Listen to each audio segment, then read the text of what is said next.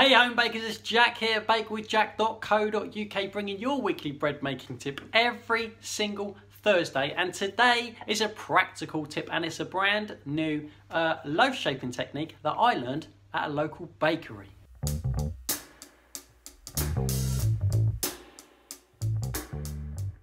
Hey everybody, if you follow me on social media, you'll know that I'm not a baker, but I've been spending a day a week in a local baker's working there for the day. It's been awesome for the last few months, and I thought I'd share with you today the bloomer shaping technique that Paul the baker uses at the Baker Boys in Hook in Hampshire. Okay, here we go. I've got my dough here. I've got my little box of flour to help me out and I've got the Bake with Jack dough scraper, super handy piece of plastic.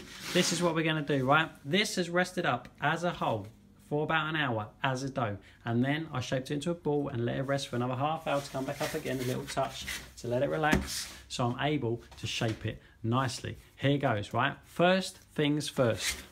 A little dust of flour, the smallest dust you could possibly get away with when you're shaping up those. flip it upside down onto the table like this and give it a little push. Now, fold, push, fold, push. I'm just trying to make it a bit longer like this. Right, this is how they go. Now, knuckles, like this. Down, down, down, down, down, down.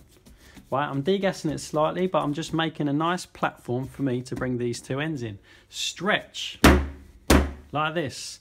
Fold in that one, fold in that one. Now we got a rectangle. Push with your knuckles like this, down, down, down evenly flat again. So we've got a rectangle, but it's evenly flat on the top like that. Now, check it doesn't stick, and if it is sticking like mine, just get a little dust underneath. Nothing major, just the tiniest amount. Now, starting at the top, I'll take this down, down with my knuckles once again,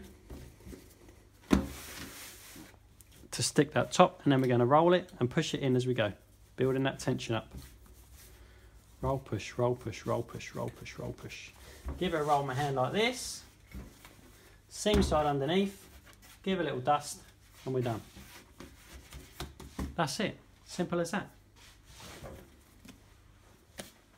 So there you have it, super tight loaf rolled up and ready to go and that's how they do it at the Baker Boys in Hook in Hampshire. They take it to local markets, hundreds of loaves of shaping by hand every single day uh, and it's awesome. I always love learning new shaping techniques. I think it is wicked and I hope to share a few more with you in the future.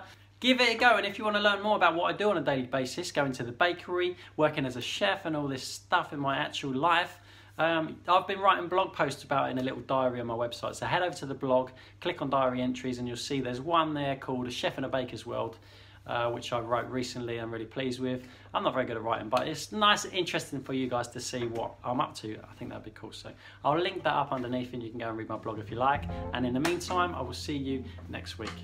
Bye-bye.